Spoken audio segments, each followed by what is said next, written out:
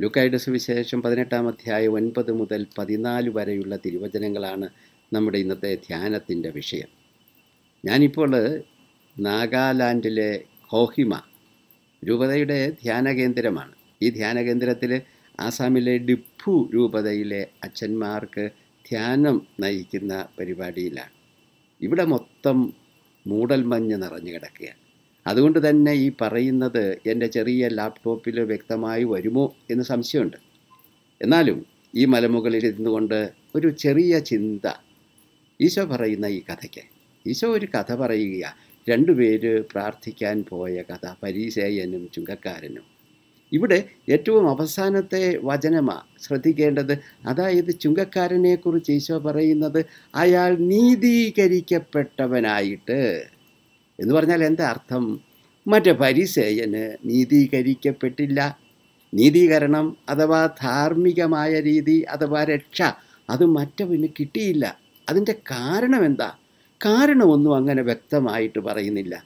എന്നാൽ ഇയാളുടെ പ്രാർത്ഥനയുടെ ഉള്ളടക്കം തന്നെ ഒരു കാര്യം ശ്രദ്ധിക്കണം. ഞാൻ ആഴ്ചയിൽ രണ്ടു ദിവസം ഉപവസിക്കുന്നു സകലതിന്റെയും ദശാംശം കൊടുക്കുന്നു. ഇതാണ് അയാൾ തമ്പുരാന്റെ മുമ്പിൽ നിൽക്കുമ്പോൾ പറയുന്നതും അയാളുടെ മനസ്സും. എന്ന് പറഞ്ഞാൽ എന്താ അർത്ഥം?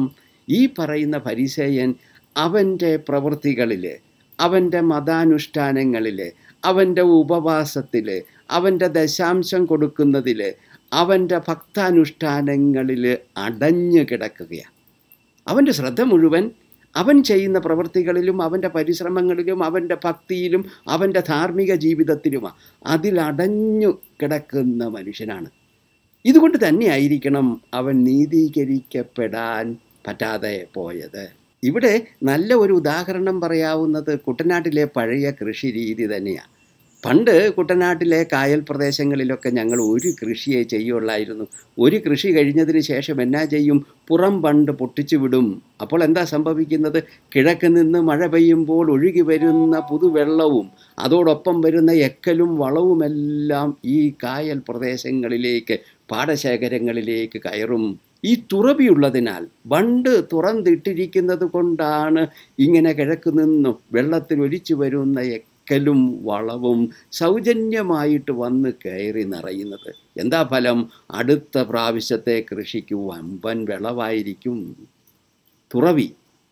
സ്വീകരിക്കാനുള്ള തുറവി. അതും സൗജന്യമായിട്ട് വന്നു ചേരുന്നതിനെയൊക്കെ സ്വീകരിക്കാനുള്ള തുറവി ഉള്ളിടത്താണ് വിളവുണ്ടാകുന്നത്. രക്ഷയുണ്ടാകുന്നത് നീതീകരിക്കപ്പെട്ടവനായിട്ട് പുറത്തേക്ക് പോകുന്നത്. ഇതെങ്ങനെ അറിയാം? ഇതറിയണമെങ്കിൽ കൃത്യം ചുങ്കക്കാരൻ പറയുന്ന പ്രാർത്ഥന ശ്രദ്ധിക്കണം. അവൻ എന്താ പറയുന്നത്? ദൈവമേ കരുണയുണ്ടാകണമേ. ദൈവത്തിന്റെ കാരുണ്യത്തിലേക്ക് അവൻ തുറന്നിരിക്കുന്നത്. കാരുണ്യത്തിന്റെ പ്രത്യേകത എന്താ? കാരുണ്യം എന്ന് പറയുന്നത് സൗജന്യമായിട്ട് വരുന്നതാണ് സൗജന്യമായിട്ട് ലഭിക്കുന്നതാണ് ഔദാര്യമായിട്ട് ലഭിക്കുന്നതാണ് നമ്മുടെ അധ്വാനം കൊണ്ടും പരിശ്രമം കൊണ്ടും ലഭിക്കുന്നതല്ല. ചുങ്കക്കാരൻ തുറന്നിരിക്കുന്നത് ഈ തമ്പുരാന്റെ കാരുണ്യത്തിലേക്കാണ് സൗജന്യമായി ലഭിക്കുന്നതിലേക്കാണ് കൃപകളിലേക്കാണ് മറ്റവൻ അടഞ്ഞിരിക്കുന്നതും ഇതിലേക്ക് തന്നെ അടഞ്ഞിരിക്കുകയാണ് സ്വന്തം പരിശ്രമത്തിലും സ്വന്തം ഭക്താനുഷ്ഠാനങ്ങളിലും സ്വന്തം ഉപവാസത്തിലും സ്വന്തം ദശാംശം കൊടുക്കുന്നതിലും മുഴുകിയിരിക്കുന്നതിനാൽ ഇവൻ അടഞ്ഞിരിക്കുകയാ തുറവിയില്ല. സൗജന്യമായിട്ട് അവന്റെ ചുറ്റിലേക്കും അവനിലേക്കും വന്ന് മുട്ടി നിൽക്കുന്ന ദൈവകാരുണ്യത്തിനും ദൈവകൃപയ്ക്കും സ്വീകരിക്കാനുള്ള തുറവി ഇല്ലാതെ പോകുന്നു. അതിനാൽ തന്നെയാണ് പരിശയൻ നീതീകരിക്കപ്പെടാതെ പോകുന്നതിന്റെ കാരണം രക്ഷിക്കപ്പെടാതെ പോകുന്നതിന്റെ കാരണം.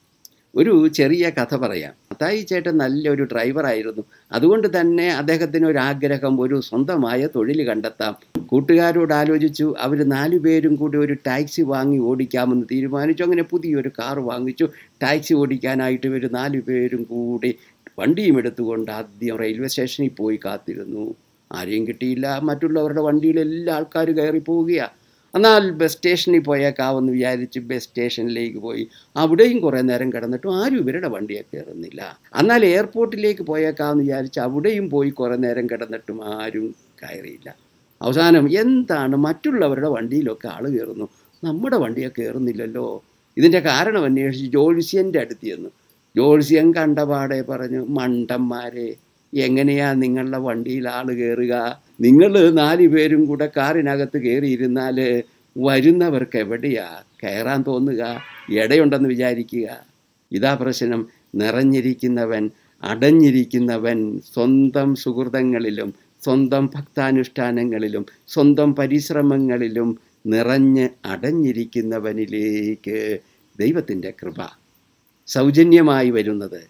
കാരുണ്യം പ്രവേശിക്കില്ല. അതുകൊണ്ട് തന്നെ നീതീകരിക്കപ്പെടാനുള്ള സാധ്യതയിൽ നിന്നും അവൻ അകന്നു പോകുന്നു. അങ്ങനെയെങ്കിൽ ഈശോ പറഞ്ഞു തരുന്നത് ഇതാണ്. അതായത് നീതീകരിക്കപ്പെടണമെങ്കിൽ രക്ഷയുടെ വഴിയിലേക്ക് ആകണമെങ്കിൽ എന്നാ ചെയ്യണം? നമ്മുടെ പരിശ്രമങ്ങൾക്കൊക്കെ അപ്പുറത്ത് നമ്മൾ ഒരു തുറവി സൗജന്യമായിട്ട് നമ്മിലേക്കും നമ്മുടെ ചുറ്റിലും വന്നു നിറയുന്ന ദൈവത്തിന്റെ കാരുണ്യവും ദൈവത്തിന്റെ കൃപയും തിരിച്ചറിയാനും സ്വീകരിക്കാനുമുള്ള തുറവി പുലർത്തണം. വളരെ കൃത്യമായിട്ട് മത്തായിയുടെ സുവിശേഷത്തിൽ ഈശോ ഇത് പറയുന്നുണ്ട്. അഞ്ചാം അധ്യായം ഇരുപതാമത്തെ വചനത്തില നിങ്ങളുടെ ധാർമ്മികത പരിശയരുടെയും നിയമജ്ഞരുടെയും ധാർമ്മികതയെ അതിലംഘിക്കുന്നില്ല എങ്കിൽ നിങ്ങൾ ദൈവരാജ്യത്തിൽ പ്രവേശിക്കില്ല എന്നാണ് ഈശോ പറയുന്നത്. അർത്ഥം എന്താണ്? ഇവിടെ ഈ ഫരിസേയന്റെ അത് തന്നെയാണ് അവിടെയും പറഞ്ഞത്. ഫരിസേയന്റെ ധാർമ്മികതയുടെ പ്രത്യേകത എന്താണ്? അത് അയാളുടെ പരിശ്രമങ്ങളിലും അയാളുടെ ഭക്താനുഷ്ഠാനങ്ങളിലും അയാളുടെ ധാർമ്മിക ജീവിതത്തിലും ഒതുങ്ങി നിൽക്കുന്നു അടഞ്ഞു നിൽക്കുന്നു. ഇതാണ് പരിസയന്റെ ധാർമ്മികത. ഇതിനപ്പുറത്തേക്ക് കടക്കണമെന്നാണ് ഈശോ പറയുന്നത്. ഇതിനെ അതിലംഘിക്കണം അപ്പോഴേ ദൈവകാരുണ്യം ദൈവകൃപ സ്വീകരിക്കുന്ന വ്യക്തിയായിട്ട് മാറുള്ളൂ. യോഗനാന്റെ സുവിശേഷം ഒന്നാം അധ്യായം പതിനേഴില പറഞ്ഞിരിക്കുന്നത്. അതായത് നിയമം മോശ വഴി നൽകപ്പെട്ടു. എന്നാൽ യേശു ക്രിസ്തു വഴി കൃപയും സത്യവും കൃപ എന്ന് പറയുന്നത് സൗജന്യമായിട്ട് ലഭിക്കുന്നതാ. ഔദാര്യമായിട്ട് വന്നു ചേരുന്നതാ.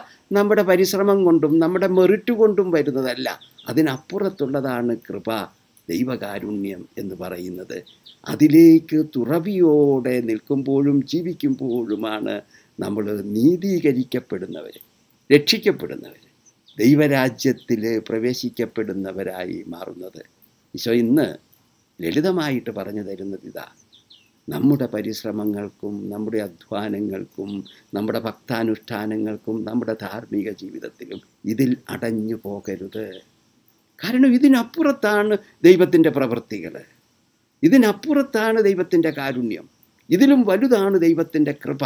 അതുകൊണ്ട് തന്നെ നിന്റെ ചുറ്റിൽ അനുദിനം വന്നു ചേരുന്ന ദൈവത്തിന്റെ പ്രവർത്തനങ്ങളെ ശ്രദ്ധിക്കാനുള്ള തുറവി തിരിച്ചറിയാനുള്ള ഹൃദയത്തിന്റെ തുറവി സ്വീകരിക്കാനുള്ള മനസ്സിന്റെ തുറവി ആ തുറവിയോടെ ജീവിക്കുമ്പോഴാണ് നീ ദൈവിക വഴിയിലാകുന്നത് നീതീകരിക്കപ്പെട്ടവനാകുന്നത് ദൈവരാജ്യത്തിൽ പ്രവേശിക്കുന്നവൻ ആകുന്നത്. നമുക്ക് പ്രാർത്ഥിക്കാം. നാഥ നീ ഇന്ന് കഥയിലൂടെ എന്നോട് പറയുന്നത് എന്നിൽ വരേണ്ട മനോഭാവത്തിന്റെ മാറ്റത്തെക്കുറിച്ചാണ് ഈശോയെ എന്റെ പരിശ്രമങ്ങൾക്കൊക്കെ അപ്പുറത്താണ് നിന്റെ പ്രവൃത്തി. എന്റെ പരിശ്രമങ്ങൾക്കൊക്കെ അപ്പുറത്താണ് നിന്റെ കൃപയും കാരുണ്യവും.